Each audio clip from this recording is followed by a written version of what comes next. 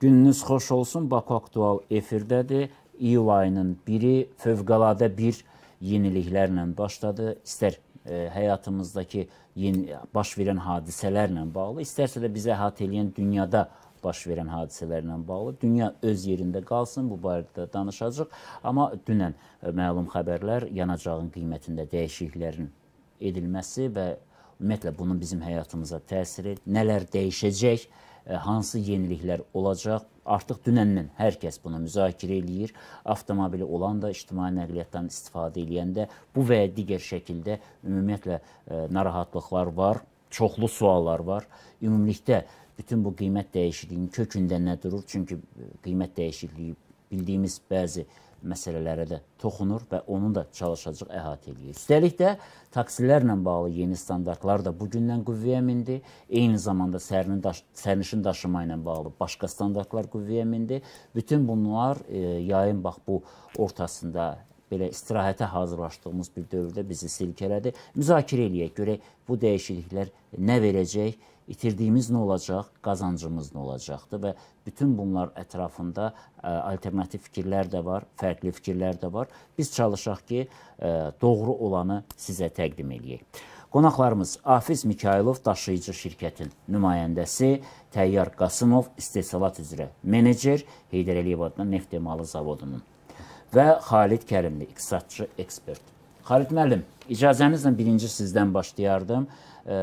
Hər kəsi narahat edən məsələlərdən biri ki, baş verən bax bu qiymət dəyişikliyi bunlar təxminən gözlənilən idimi və nə dərəcədə ümumi proseslərə təsir eləyəcək? Birbaşa təsiri, dolayısı təsiri. Mən də sizi və tamaşaçılarınızı salamlayıram. Əslində bu 95 markalı premium benzinin qiymətinin aşağı salınması qərarı mən bir il bundan qabaq gözləyirdim. Yəni dəfələrlə bu istiqamətdə də çağırışlarım var idi, fikirlərim var idi. Çünki e, benzinin o qiymətə qaldırılması, 2 manata artırılması neftin qiymətinin 110-120 dollarlıq dövrlərinə təsadüf edirdi. Həmin dövrdə e, xam malda baha idi və benzin də baha idi. Sonradan benz, e, neft e, təqribən 40-50% uzlaşmasına baxmayaraq, amma benzinin qiyməti saxlanıldı. Amma paralel olaraq hökumət həmənki dövrdə SOCAR-ın xüsusən hesabatlarını oxuyanda, prezidentlərini oxuyanda nə rastlaşırdıq? E, bildirirdilər ki, 92 markalı benzinin e, hətta qiymətindən də aşağı satırıq, mayasından da aşağı satırıq. Bu o dönəm idi ki, həm neftin qiyməti yüksəlmişdi, həm eyni zamanda da e, yeni Bakı neft emal zavodu e, təmirə dayandırdığına görə hökumət e, bu 92 markalı benzini də hətta 95 ilə paralel bunu da xaricdən idxal edirdi. E, və bu da e, hətta keçən ildə, bu ildə e, benzinin idxalı ilə əlaqədar rüsumlar bir illik ləğv edildi ki, məhz e, bunu gətirib satan Sokar şirkəti çox ziyana getməsin. Ümumi şəkildə e, premium markalı benzinin qiymətini 2 manat olanda e, bizim qiymətlər təkcə mən deyirəm ki, Avropa ölkələrindən az idi e, az idi. Qalan Amerika inkişaf eləmiş dövləti, neft ölkəsidir. E, premium markalı benzin bizdən daha ucuzdur. E, Rusiya neft ölkəsidir. İnkişaf etmiş ölkə deyil, amma inkişaf etməkdə olan ölkədir, amma neft ölkəsidir. Bizdən premium markalı benzin 2 manat olanda daha ucuz idi. Belarus və Gürcüstan mənlə qonşu ölkələri həm əlaqəli deyirəm. Bunlarda da ə, e, bizdən ə, e, daha əlverişli idi. Yəni hökumət biraz ə, bu qərarı ləngitdi. Amma qərarı ləngitməyin təsiri nədir? İndi 92 markalı və dizel markalı benzinin həm də ekoloji e, məsələlərdən irəli gələrək e, artırıldığı deyilir. Və premium markalı benzin Avro 5 e, standartı ilə xaricdən idxal edilir. İndi ölkə daxilində də istehsal olunacaq. E, bunları e, çox baha eləmək e, ola bilsin ki, gətirici şirkətin qazancını artırsın. Amma eyni zamanda da bu insanların daha çox 92 markalı benzinə həvəsləndirirdi. Yəni biz ekologiyadan danışırıqsa, ekoloji dost məhsulların da dəyəri vətəndaşlar üçün əlçatan olmalıdır. Mən e, israr eləmirəm ki, e, dövlət e, cəmiyyətin hesabına maşın sürənləri subsidiyalaşsın. Bu doğru deyil. Amma ən azından bu rəqabətli bazar olmadığına görə gətirən şirkət bir şirkət olduğuna görə orada bu cür çevik surətdə qiymətin adaptasiyasına ehtiyac var. Yəni bürokratik şəkildə ləngimə ziyan verir.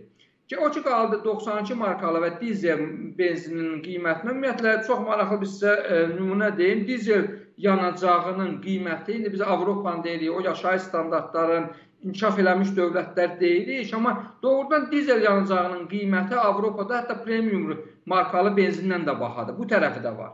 Yəni e, dizel yanacağının burada da əsas nüans nədir? Adamlar e, bu qiyməti artıraraq onun ətraf mühitə, cəmiyyətə gətirdiyi problemləri məhz bu benzindən istifadə edən şəxslərin hesabına həll etmək məqsədi qoyurlar. Yəni dizel ucuz eləyib, görürsüz bir tərəfdən 95-in ucuzlaşması, hətta gec ucuzlaşmasından narazıyam, amma dizel yanacağı doğrudan da ətraf mühiti çirkləndirir. Dizel yanacağı problemlər yaradır. Amma bunu da Azərbaycan tipli ölkələrdə sürətli və dərhal həll etmək mümkün olmadığına görə hökumət burada ardıcıl addımlar atır.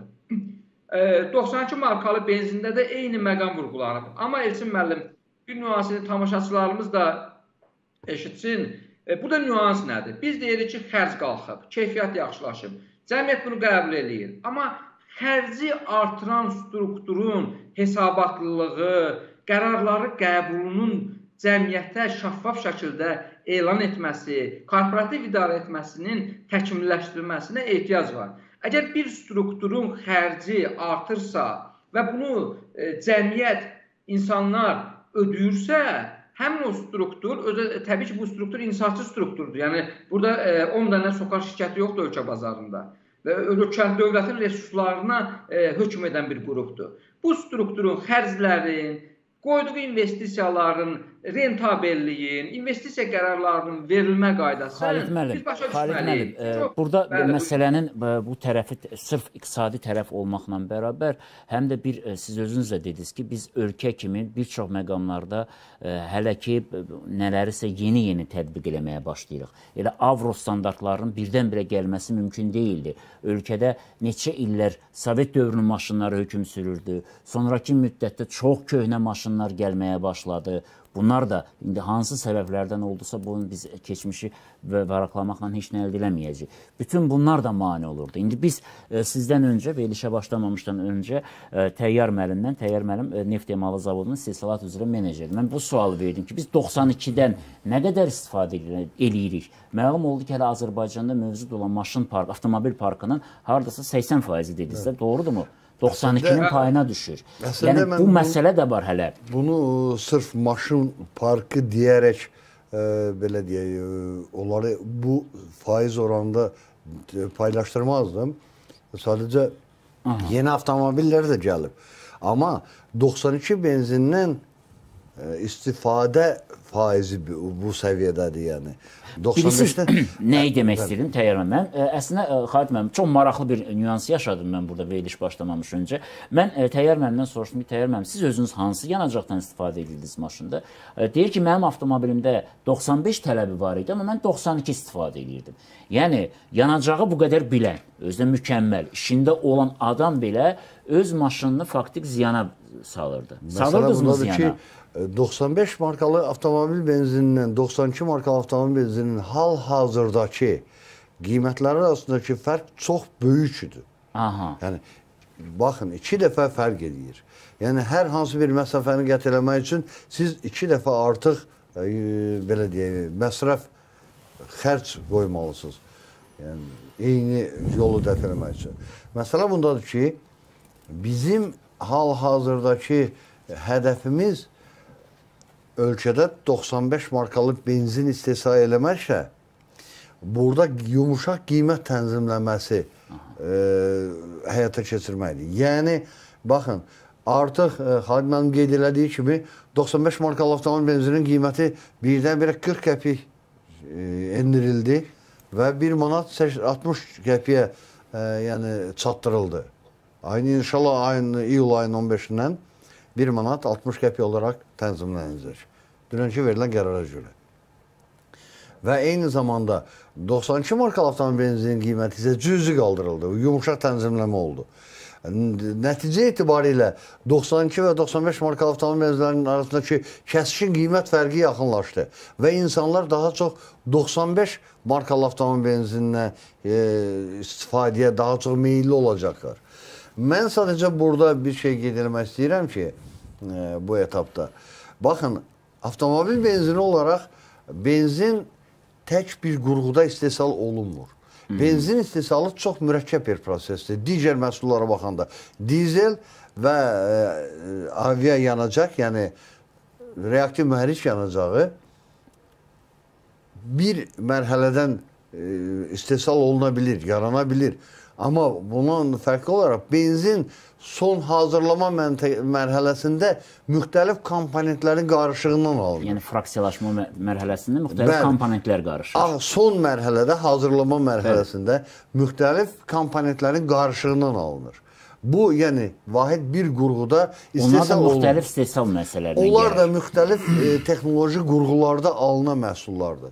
Biz Azərbaycan Respublikasında 95 markalı avtomobil benzininin istehsalı və e, dağıtımı 1000 2008-ci ildə dayandırılıb. Dayandırmanın səbəbi nə idi? Biz sadəcə o benzini istehsal etmək üçün komponentlərimiz yetərli deyildi. Və bundan sonra isə e, deməli bu benzinin idxalı başladı. Xadiməm qeyd elədiyi kimi. Bu benzinin idxalı başladı. Məcburən idxal oldu bu benzin və artıq e, həmin müddətdən etibarən də Euro 5 standartlarına cavab verən 92 və 95 markalı avtomobil benzinlərinin istehsalı üçün modernizasiya və yenidən qurma layihəsi başladıldı. Zavodda. Və bəli, Hidral e, adına neft emalı zavodunda, Sokarın Hidral adına neft emalı zavodunda. Və bu modernizasiya və yenidən qurma layihəsi çərçivəsində biz 95 markalı avtomobil benzini istehsal etmək, eyni zamanda 92-də. Amma xüsusilə 95 markalı avtomobil benzini istehsal etmək üçün e, çox sayda çox müasir və mən bunu xüsusilə qeyd etmək istəyirəm, lisenziyalı qurğular qoyuldu. Hı -hı lisenziyalı yeni texnoloji qurğular qoyuldu və həmin o istehsal olunan komponentlərdən do- e, 92 marka avtomobil benzini o cümlədən əsasən də 95 marka avtomobil benzini formalaşır. Bizim istehsal elədiyimiz 95 ölkə Bəli, bazarına bəli. yetərlidirmi? Və e, hal bizim deməli istehsal edilmir. Hal-hazırda ölkədə 95 marka avtomobil benzini tükətimi çox azdır. Bunu mən qeyd edim. Amma bəli, bu e, faiz oranında 92 və 95 markalı avtomobil benzinlərinin tələbat faizlərinin arasındakı böyük fərq oranında biz yetərincə Azərbaycanda 95 marka avtomobil artsa? benzinlər təmin edə bilirik. Və bu fərq dəyişdikcə biz artıq 95 marka avtomobil benzinin istehsalı və onun dağıtımı, e, yəni onu benzinin e, istehsal və dağıtım prosesi xüsusi bir prosesdir. Bəli. Əgər sən bu məhsulu istehsal edib hansı bir e, tankda, çəndə yığırsansa, bunu istehlakçılara qədər çatdırma infrastrukturu da olmalıdır. Yəni bunun özü də şərtdir. Eyni zamanda bunu e, qəbul edən o da e, bir pərakəndə satış Satışı ilə ilə məşğul olan şirkətlər də e, onu bizdən alıb aparmaq e, yəni imkanı Yəni e, artsa tələbat 95-ə bizim buna imkanımız yerli bazarı kifayət qədər təmin etmə imkanımız var. İnşallah. Dəyişə Bəli, bilərik də Bəli, istiqamətini. dəyişə bilərik. Amma bu dəyişim bir daha təkrar edirəm. Bu dəyişim birdən-birə mümkünsüz olmalı. Çünki bizim avtomobil strukturunda siz qeyd elədiyiniz kimi MDB ölkələrində istehsal olunan o cümlədən bunu xüsusi vurma, vurğulamaq lazımdır ki, xarici e, marka, xarici şirkətlərdə Bəli. istehsal olunan avtomobillərin köhnə modelləri Azərbaycana külli miqdarda idxal olundu. İndi Bunlar başqa bir məsələ 92 çıxırdı. Başqa bir məsələ çıxırdı və mən istəyirəm buna da bir aydınlıq gətirəsin mütəxəssis kimi. Artıq hamı ə, sosial media elədir ki, indi hamı özünü mütəxəssis sayır və hamı məsləhətlər verir. Bu məsləhətlər içərisində belə fikir söyləyənlər var ki, biz qarışdırmağa başlayaq. 95 ilə 92-ni qarışdıraq, hətta hesablayıblar nə qədər insan qabağa düşə bilər. Bəziləri təklif edir ki, digər yanacağa keçək, qaz qoyaq, balon qoyaq və s. və s. belə bir fikirdə olanlar var. Başqaları artıq elektromobilləri haqqında düşünürlər. Bütün bunlara əsasən də o qarışdırma məsələsinə. İndi özünüz 92-dən siz bu gün keçdiniz 95-ə yoxsa yox hələ? Keç, bəli. Bu gün yəni artıq- bu artıq 95 e, Fərqi də hiss elədiniz maşında. Fərqi hiss elədi və mən e, 95 markalı benzinin fərqini e, bir kəlmə ilə izah eləmək istəyirəm. Yəni əgər siz e, avtomobiliniz 95 marka avtomobil benzini üçün istehsal olunubsa, yəni bu yeni model avtomobil, e, yeni marka avtomobildirsə, e, bu avtomobillər e, işə salmaq, xüsusilə səhər-səhər soyuq avtomobili işə saldıqda e, yəni 95 marka avtomobildə əgər 92 marka avtomobil benzin tökürsünüzsə, o zaman işə salma çətinləşir və e, iki ən az birinci halda işə düşmür. Birinci Bu- cəhddən alınmır. Birinci cəhddən alınmayacaq. Bu yüz- yüzdə yüzdür. Sonra deməli, əgər siz vizual olaraq avtomobilin egzoz sisteminə nəzər yetirsəz, yəni belə deyək də, tüstü borusuna, avtomobilin arxasına nəzər yetirsəz, 92 ilə 95 marka avtomobil benzinlərinin eyni zamanda bu tək 92 deyil, Euro 5 markalı 92 və 95 benzindən söhbət gedir. Çünki Heydər Əliyev neft demo zavodunda həyata keçirilən modernizasiya və yenidən qurma layihəsindən sonra yalnız 95 markalı avtomobil e, 92 A92 markalı avtomobil benzini Euro 5 standartına cavab verən, eyni zamanda Euro 5 standartına cavab verən A95 markalı avtomobil benzin hissəsi olunacaq. Yəni bu e, 90 Euro 5 standartına cavab verən benzinlə indiki benzinlərin, yəni bundan əvvəl tükətdiyimiz benzinlərin fərqini hiss edəcəksiniz. Ən Xeyr, azından tüstünün miqdarı azalacaq, tüstünün miqdarı azalacaq. E, Atmosferə atılan bərk hissəciklər azalacaq. Yəni Ziyanlı maddələr. ekoloji e, belə deyək də e, çirklənmələri biz vizual olaraq da görə bilərik. Əslində məsələnin bu tərəfi də var və çox ciddi bir tərəfdir ki, biz e, ekoloji məsələni deyib də dururuq. Bu uzaq bir məsafə kimi baxırıq ekoloji məsələlərə, amma elə deyil. Biz artıq ekoloji fəlakətin içindəyik. İçindəyik. Azərbaycan da daxil olmaqla demək olar ki, dünyanın bütün ölkələri ola bilər istisna hansısa adalarda bu hiss olunmaz, amma onlarda da hiss olunur. E, Çox ciddi fəlakətləri özümüz görürük. Dünənə qədər bu 10 illiklərlə hesablanırdısa, artıq illərlə hesablanır. Ötən illə bu ilki e, iqlim dəyişikliklərində baş verənlər, dünyada gedən iqlim dəyişikliklərinin fəsadları, bütün bunlar bizim elədiyimiz ə, insan əməlidir. İnsan əməlində burada əlbəttə ki, təsiri var. Və sözsüz ki, xəstəliklərin sayının artması bu təkcə qida ilə bağlı deyil. Eyni zamanda bax bu cür havaya tullantıların təmizlənməməsi və yaxud da çirkləndirməsi ekoloji problemlərdən sağlamlığımızda yaranan ciddi problemlər, uşaqların bəzən xəstə doğulması, bütün bunlar onun birbaşa bağlılığı var. Amma biz bunu e, hələ heç kimin ölüm səbəbində yazmayıblar ki, onu e, avtomobilindən aldığı hansısa bir zəhərli qazdan ölüb. Ölümün səbəbi başqa bir şeylər yazılır. Amma faktik onu törədənlərdən biri də budur. Ona görə də sözsüz ekoloji təmizlik hər birimizin içimizdən keçir. Amma bu da əlçatan olmalıdır ki, hamımız ona rahat keçə bilək. E, Məsələ orasındadır ki, yanacağın qiymətində dəyişikliklər dərhal da daşıyıcı şirkətlərlə bağlı məsələlərdə qalxdı, e, sərnişin daşımada qiymətlərdə dəyişikliklər oldu. Elə birinci sualımı belə verim ki, sizə necə təsir elədi və nəyi dəyişdiniz? Deməli bugünkü gündə e, bütün sahələrdə olduğu kimi qiymətin qalxması bizim sahədə də, yəni təsirsiz keçmədi, qiymətlər dəyişiklik oldu. E, ictimai nəqliyyatda e, bizim parkımızda 411 avtobus nəqliyyat vasitəsi var. Onun böyük hissəsi dizel mühərrikləri ilə çalışır.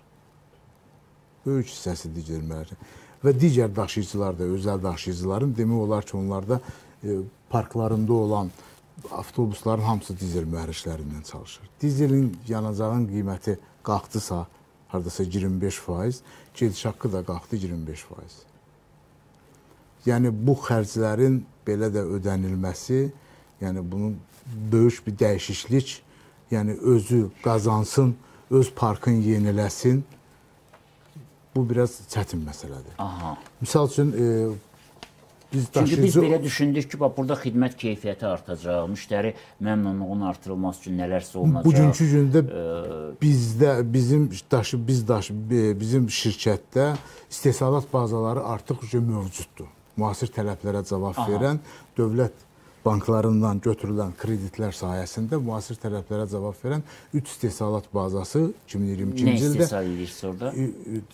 Bu e, təmir emalatxanaları, Aha. təmir o biraz öncə vurğuladığınız bu SSR-in vaxtında texniki qulluq işləri, Bəli, avtobusların, cari təmir. bəli, cari təmir, əsaslı, Əsaslı təmir, təmir. bəli. E, xəttə çıxmazdan öncə texniki müayinələrdən avtobusun keçməsi tələblərə cavab verir, vermir. Sürücülərin tibbi müayinədən keçməsi, sürücülərin təlim məşğələləri xidmət keyfiyyətini qaldırmaq üçün və üç istehsalat bazası, bu bazalar e, E, hazırlanıb, uca istehsala çalışır və bunu bunlar hamısı dövlətdən götürülmüş, banklardan götürülmüş kredit hesabına. Biraz öncə vurğuladım və yeni avtobuslar Bir sərnişin sizə neçəyə başa gəlir? Daşınması. Deməli, e, bir sərnişinin daşınması bizim hesablamalarla 85 qəpiyə oturur. Hal-hazırda gediş haqqı 40 qəpikdən qalxdı 50 Sual. qəpiyə. Bəli. 40 qəpiyə daşıyırdınız, amma sizə başa gəldi 85 qəpiyə. Bəli. 45 qəpiyə hardan alırdınız? Bizim e, dövlət banklardan götürdüyümüz kredit hesabına və bu kreditləri çətinlik də olsa ay-bay ödəyirik. Ya çətinlik nə olsa şirkət təbii ki borclanır. Bu, bu İndi bax bu kreditlər 85 hesabına qəpik yəqin yanacağın qiymətinə dəyişikliyinə əlaqədar olaraq 85 qəpikdə artım olacaq, eləmi? Daşınmada. Yanacağın e, yanacağın qiymətində dəyişiklik bəs vurğuladım ki, dizelin yanacaq qiymət qalxdı 25%. Yəni Yox, amma yəni hesabı. 85 qəpiyə başa gəlməyəcək artıq. Yəqin ki, biraz baha olacaq. Hədə yanacaq qalxdı, təbii ki, qalxacaq. Yenə o balans e, belə deyək də mənfi saldo qalır. Bugünkü gündə ən azacaqlısı odur ki, tələblərimiz, istəyimiz ölkəyə müasir tələblərə cavab verən, məsəl üçün biz 2022-ci ildə gətirdik. Hal-hazırda layihəmiz var, planlaşdırılıb, elektrik mühərrikliyi ilə çalışan. Nə vaxtda sizcə bax biz tam elektrik mühərrikli. Bu sizə də sərfəli olar. Elektrik mühərrikləri Şəhərə də, elektrik mühərrikləri ilə çalışan, e, tə- təbii sıxılmış qazla çalışan mühərriklə çalışan avtobusların gətirilməsi planlaşdırılıb Planlaşdırılıb. yaxın zamanda. E, Azərbaycan Yerüstü Nəqliyyat Agentliyində bugünkü gündə daşıyıcılara yəni yeni layihə təklif olunub, kilometraj məsafəyə görə ödəniş çox gözəl bir dəstəkdir. E, Əslində ə, ə, biz çox istəyərdik aynanın da nümayəndəsi olsun. Çünki Bəli. neçə Yəni suallarımız vardı. bunsuz dövlətin nəzarəti olmasa bu sahəni inkişaf bu etdirmək Xalid müəllim nəsə olacaq. demək istəyirdi. Buyurun Xalid müəllim. Ə, Ümumiyyətlə ə, Afis müəllim, mən ə, siz 85 qəpik dediniz bir sərnişinin daşıma qiyməti. Ə, Ümumiyyətlə ə, bu vətəndaşlarda sual yarana bilər ki, bu tədricən 85-90 qəpiyə qədər qaldırılacaq. Yəni bu belə deyil. Hansısa bir daşıyıcının xərclərinin strukturu cəmiyyət ə, bunu qarşılam qarşılamaq məcburiyyətində qalmalı deyil. Hökumət zaten keçən ildə 30 qəpikdən 40 qəpiyə artırdı daşıyıcıların daşıma xidmətinin qiymətini. Bu dəfə də baxmayaraq ki, doğru deyirsiniz, 25% artıb dizel yanacağının qiyməti, amma dizel yanacağı sizin əməliyyat xərclərinizin, hətta bütün xərclərinizin yox, əməliyyat xərclərinizin yarısını təşkil edir də. Yəni bütün xərclərimiz orada amortizasiya xərcləri, filan, faiz xərclərimiz, işçilik xərclərimiz bunlar artmayıb. Sadəcə benzin xərcimiz artıb. Yəni yağ xərcimiz də artmayıb, təkər xərcimiz də, təmir xərcimiz də artmayıb. Xərcin bir elementi artır və hökumət e, çox doğru elə sürətli şəkildə e, kompensasiyasını da verdi. Yəni burada yəni sizə hökumət marjavızı e, xərcinizin artımından çox təmin elədi ki, məhz ona şərait yaratsın ki, siz doğrudan avtobus parkının dəyişmə imkanına malik olasınız. Bu çox önəmli məqamdır. Yəni artıq 2 ildir e, avtobus qiymətləri birlikdə nə qədər sosial cəhətdən e, təsirlidir, amma bütün bunlara baxmayaraq hökumət özəl sektorun burada maraqlı olmasını ardıcıl surətdə təmin eləməyə çalışır. Çünki e, biz bu qiymətləri doğrudan da e, real vəziyyətə uyğunlaşdırmasaq, nəticə nə olacaq? Sahibkar avtobus almayacaq. Avtobusun bir yeni avtobusun, müasir avtobusdan danışırıqsa, bunların qiyməti 150-200 min dollardır. Yəni bu yarım milyona gedib çıxan qiymətlər var. Yəni bunu sahibkar artıq bir park formalaşdırıbsa və baxıb görür ki, qiyməti bu qiymətə onun üçün sərfdir yeni təzə avtobus gətirməyə. Onda avtobus parkı köhnələ-köhnələ gedir. Çünki deyir artıq bunu avtobusu götürmüşəm, qərar dəyişə bilmirəm. Amma yeni avtobuslar, yeni park, nə bilim daha işdə işlətmək üçün normal e, sürücü tapa bilmir.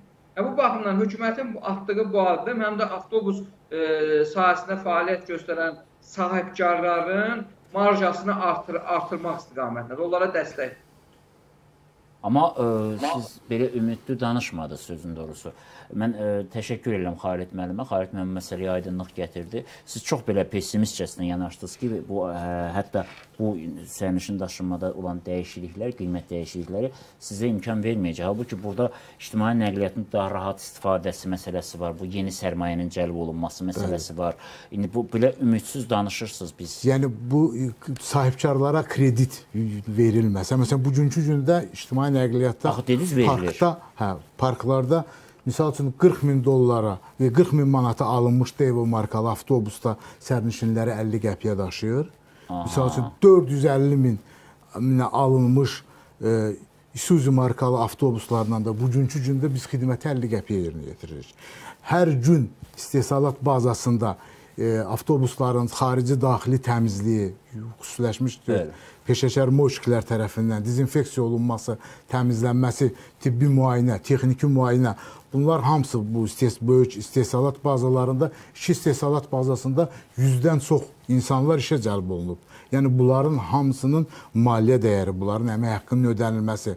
Amma digər daşıyıcılarda o belə deyək, köhnə Avro 2 sta- standartlarına cavab verən avtobuslar işlənir, onlar da 50 qəpiyə daşıyır. Təbii ki, bizim keyfiyyət, bizim belə deyək də yüksək yeni müasir avtobuslarla göstərilən e, xidmət yüksəkdir, Onda gəl təhlükəsizdir. Xalit müəllimdən mən bir sual verim. Xalit müəllim bu vəziyyət belədirmi və bu bir, belə çıxır ki, biraz rəqabət mühitinə nəsə Buyurun, sizin rəyiniz müəllim, lazımdır mənə. e, Afis müəllim dediyi kimi, bax Azərbaycanda biz avtobusu ola bilsin ki, e, Azərbaycanda əhalinin sosial vəziyyəti Amsterdamdakından çox aşağı. Ola bilsin ki, elə belədir, Avropanın orta bir ölkəsindən. Amma təəssüf ki, bu, bu avtobusun, avtobusun hissəsinin, avtobusda istifadə olunan benzinin özü də hətta bunların hamısı dünya qiymətləri ilə tənzimlənir. Avtobusu biz müasir avtobus deyiriksə, Avropadan gətirməliyik. Onun hissələrinin də yerli istehsalı yoxdur. Bir dənə bu avtobus, ictimai avtobus, ictimai nəqliyyat sektorunda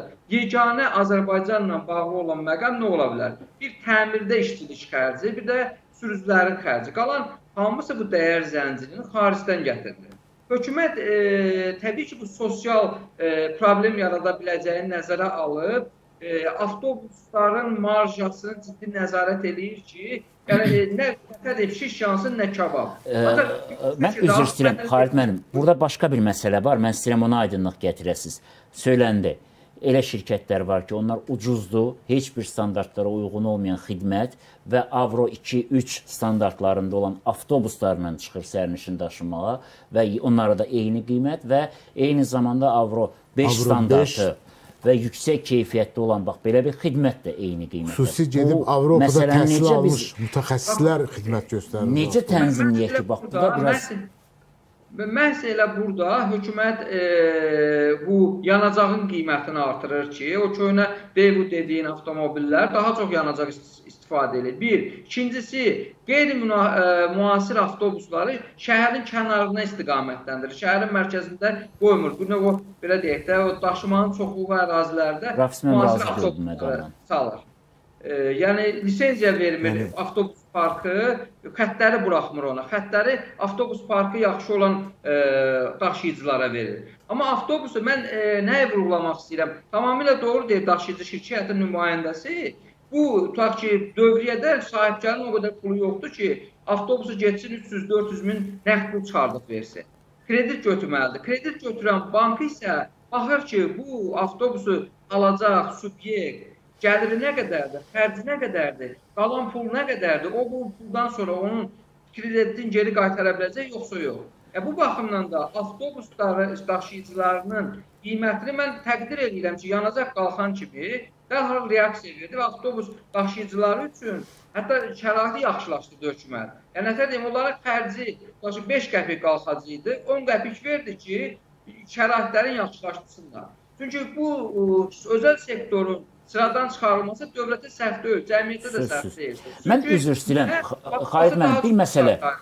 bir məsələni mən istəyirəm araşdıraq. Rasim Afsiməm dedi ki, bax ə, si- sizə, yəni yaxşı işləyən, standartlara uyğun olan şirkətlərə verilən xətlərlə onlarınki eyni deyil. Onları şəhər ətrafında veriblər. Yox, yaxşı yerləri sizə təqdim marşrut ediblər. xətləri, Elədir, elə marşrut xətləri e, Azərbaycan Yerüstü Nəqliyyat Agentliyi tərəfindən müsabiqəyə çıxarılır. Müsabiqədə iştirak edən daşıyıcı şirkət e, yəni tələblərə cavab olaraq e, xidmətin təqdim edir və hansı şirkət qalib Demək, gəlirsə yaxşı yerlər ona təmin olunur. Bəli. Yaxşı yerlər sizdədir. Yəni ona görə Yox, sizin bayaqdan şikayətlənməyiniz düz deyil. Onlara o Yox. Avro 2 ilə 3 ilə işləyənlərə ucqar yerləri veriblər və birazdan onlara da məhdudiyyət qoyulacaq. Necə ki taksilərə qoyulur Yəni və s. mənim və s. sözümdə, yəni məqsədim odur ki, daha da inkişaf etdirmək, xidməti Yox, təbii ki, istəyirik, bəli, hamımız təbii ki, xidmətin səviyyəsi biraz da yüksələcək, təhlükəsiz, keyfiyyətli Aydındır. sərnişinlər Xahiş edirəm, xidmət buyurun. Mən ona görə istədim bir aydınlıq gətirək. Mən, mən, mən əslində siz, siz elə mə- mənim mövqeyimi müdafiə elədiyinizə görə artıq deyəməz. Mən biz şirkət adı demirik ki, hansısa şirkətə bu verilir, amma tələblər müəyyənləşir, standartlar müəyyənləşir. Kim buna uyğundursa, o götürür təbii ki, tender. Yəni tender şəffafdırsa, nə e, xoşbəxtləri bu avtobus e, operatorları ki, yaxşıları yaxşı şirkət götürə bilir. Amma təbii ki, hökumət e, bu avtobus daşıyıcılarının problemlərini bilir E, Və bunun üçün də yenə deyirəm, son 2 ildə hər hansı bir tarif şurasının hansısa sektorda mən e, 70% qiymət artırdığını müşahidə eləməmişəm. Yəni e, keçən ildə qiymətlər baxıldı, bu ildə qiymətlər baxıldı və bu da ona yönəlib ki, avtobus şirkətləri rentabel işləsin, qazanclı işləsin və e, ictimai nəqliyyatında problemlərini həll eləsin. da bu bundan artıq sizin üçün şərait Yox, belə özəl daşıyıcılardan son 2 ildə yeni avtobus gətirən, yəni müşahidə eləmək çox çətindir. Əgər əgər burada hər hansı bir bu sahədə ictimai nəqliyyatda qazanc olsaydı, bunlar təbii ki, gətirərdilər. Hamısı peşəkar nəqliyyatçılardır, şirkətlərdir, uzun müddət işləyən şirkətlərdir, amma bugünkü gündə gətirmək mümkün deyil. Biz özümüz Xaliq Faiqoğlu sonuncu dəfə il yarım 2 il bundan qabaq gətirib avtobuslar İndi sabaha da indi Azərbaycan Yerüstü Nəqliyyat Agentliyinin layihəsi var. Ümid edirik ki, burada da e, sıxılmış təbii qazla işlənilən maşınlar qəbul olunur. Dizel mühərrikli Avro 5 standartlarına cavab verən e, şəf, sağlam avtobuslar da qəbul olunsa, düşünürəm ki, nəsə e, daha da inkişaf etdirmək olacaq. Aydındır. Amma keyfiyyətin qaldırmaq, təhlükəsiz xidmət, yəni düşünürəm ki, bütün mənalar, bütün olunacaq. hallarda yanacağın qiymətinə dəyişiklik məsələsi ə, hər şeyin kökündə duran məsələlərdən biridir və ən çox da elə bu müzakirə olunur. Əslində yeni taksi standartları ki tətbiq olundu, bu da bir ə, müəyyən qiymət dəyişikliyinə səbəb olacaqdı taksidə. Üstəlik yanacaq da gələndən sonra yəqin ki, orada təsir edəcək, amma ümumiyyətlə 40 qəpik ucuzlaşma prosesi getdi, düzdürmü? Bu neçə faiz deməkdir və siz öz maşınınızla müqayisə edin. 95 dünən əgər istifadə eləsəydiniz, nə qədər aylıq büdcənizə e, məsrəf gedəcəkdi. İndi artıq bu gün 95 vurmusunuz və nə qədər siz xeyir eləyə bilərsiniz. Bunu bir hesablamısınızmı?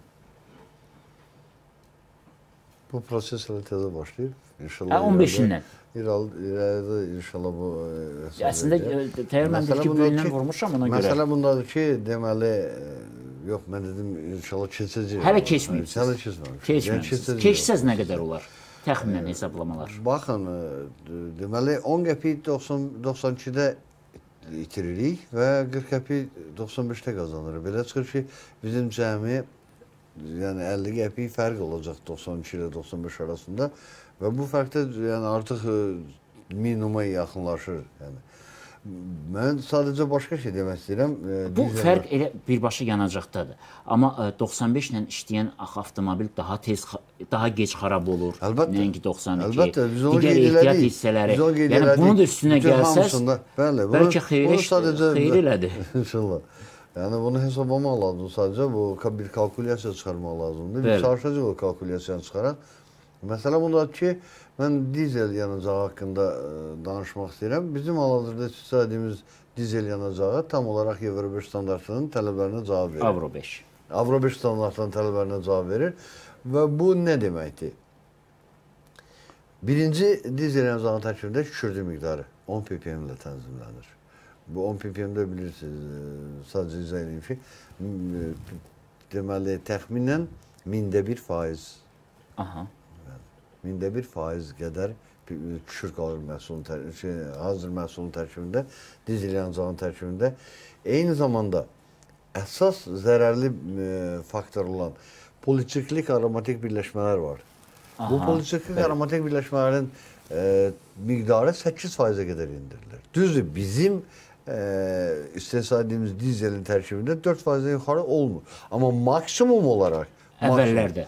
Yox, əvvəllər 30-32 faiz 32% yaxın. Bəli. Yəni bu amma e, maksimum deməli 8 faizə tənzimlənir.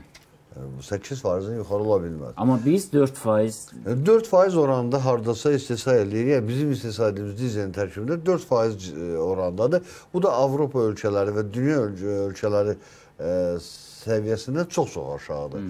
Bizim e, yəni dizelin tərkibində polisik aromatik birləşmələr. Və sadəcə mən bir şey qeyd etmək istəyirəm ki, ümumiyyətlə zərərlilik nöqteyi nəzərindən, ekoloji zərərlilik nöqteyi nəzərindən dizel daha çox ziyanlıdır. Bircə saniyə Buyurun. dizellə bağlı xüsusi sualım var. Çünki bunu tez-tez biz avtomobil istifadəçilərindən eşidirik. Siz söylədiniz ki, bayaq ə, parkda əsasən dizel yanacağından Bəli. istifadə olunur. Baxın, ə, bizim ölkədə olan dizel yanacağının keyfiyyəti qane eləyirmi? Maşınlar, istifadəçilər, sürücülər nə deyirlər? Yəni şikayət yoxdur. Yoxdur. Belə konkret deyək ki, mühərriklərə zərər vurur. Yəni normal işləyir. Amma məsələn mən çox eşidirəm deyirlər ki, biz yağ qatmağa məcburuq çünki keyfiyyəti aşağıdır. Varmı belə Bizim şeylər? elədiyimiz ən böyük səhv odur. Aha. Mən buradan e, bütün dizel mühərriki yanacaq işlədən hər bir vətəndaşa, hər bir belə deyək, bizim e, ə, vətəndaşlarımıza səslənmək istəyirəm ki, e, o çox yanlış bir yanaşmadır. Çox yanlış yanaşmadır və o ən azından mühərriki e, dizelin keyfiyyətini görə bilmirlər bu öz yerində ən azından mühərrikin ömrünü kəskin qısaldır və ətrafa da çoxlu miqdarda tüstü yayılmasına səbəb olur. Bu çox dizelə lazım olan standartlar səviyyəsində lazım olan qatqıların hamısı qatılır. Aha. Əlavə heç nə ehtiyac. Yağla, yağlayıcı qatılır, e, setan e, yaxşılaşdırıcı qatılır.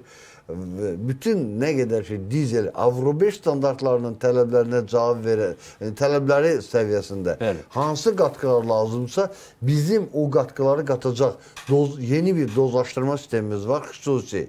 Və orada da ciddi nəzarət altında analizlər aparılmaq, bizim çox gözəl yeni qurulmuş laboratoriyamız var. Çox müasir laboratoriyadır və o yeni avadanlıqlarla təchiz olmuş laboratoriyadır və o İstəyərdik bir laboratoriya dəfə bizi qonaq çağırasınız. Buyurun, Biz o laboratoriyanı görək. Buyurun. Onu həm də biz e, göstərək, tamaşaçı da görsün, peşəkarlarla yanaşı, adi istehlakçı da görsün ki, həqiqətən bax bu proseslər keyfiyyəti nəzarətdədir və s. Siz dediyiniz e, hamısı çox yaxşıdır, amma biz onu praktik görməyimiz daha faydalı olar.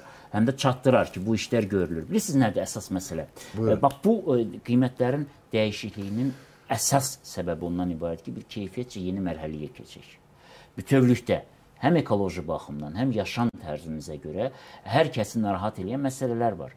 Mən bayaq verilişi başlayanda da söylədim ki, ekologiyanın korlanması bizim sağ, bizim ömrümüzü aparır. Siz maşının, dəmirin, mühərrikin ömrünü hesablayırsınız, amma bizim ömrümüzə vurduğu, o siz söylədiyiniz ziyanlı, zərərli tullantıların hansı xəstəliklərə səbəb olduğunu, hansı ekoloji problemlərə səbəb olduğunu bir ekoloqlar söyləyə bilər. Bəlkə də çox ə, təhlükəli bir şeylər var. Biz o barədə çox az danışırıq və yaxud da heç vaxtımız olmur. Bəzən başımız xırda işlərə qarışır, o barədə danışmırıq. Amma faktik xəstəliklər varsa və biz avro standart dedikdə, avro ə, 5 və yaxud da digər standartlar dedikdə həm də ona görə deyirik ki, oranın insanların sağlam olmasının səbəbi də elə məhz ə, bax bu təbiətin qorunmasına biraz əvvəl başladıqları üçündür. Ona görə düşünürük ki, e, yanacağın qiymətində dəyişikliklərin e, əsas kökündə duran səbəb həm də yaxşı çağırışların gerçəkləşməsidir. Həm sizin sahədə, həm də ümumiyyətlə yanacaqdan istifadə edən şəxslərin və bu standartların Azərbaycana gəlməsi ilə Azərbaycanda yeni ekoloji standartlar. Bu il biz COP-a e, ev sahibliyi eləyirik və biz dünyaya həm də onu söyləyirik ki, biz özümüz də ölkə olaraq ekoloji stabilliyin, sağlam planetin tərəfindəyik. Ona görə biz Tərəfdarıyıq, özümüz bunu eləməliydik və bu addımda müəyyən mənada e, sözün əsl mənasında e, hətta Xalit müəllim dedi ki, bir çox məqamlarda ləngimələr oldu. Çox güman ki, bunun üçün də müəyyən səbəblər var idi və bu səbəblər də vaxtaşırı söyləniləcək. Hər halda hər birinizə e, istəyərdik ki, bütün bu dəyişikliklərə hazır olmağınız üçün əslində normal bir şeydir. Bazar iqtisadiyyatında vahid bir qiymət haqqında danışmaq düzgün deyil. Dinamika var, dəyişikliklər var və bu dəyişikliklərə uyğun da hər şey dəyişir. Qonaqlarımızı bir daha təqdim edeyim. Afis Mikayılov, daşıyıcı şirkətin nümayəndəsi, Təyyar Qasımov, istehsalat üzrə menecer Heydər Əliyev adına neft emalı zavodunun və Xalid Kərimli, iqtisadçı ekspert. Təşəkkür edirəm hər birinizə, minnətdaram. Hesab eləyək ki, bu dəyişikliklər həyatımızda bir təsiri olacaq. Bu təsir isə müsbətə doğru gedəcək. Hər halda çalışaq, hər şeydə müsbət axtaraq. Görüşərik. Çox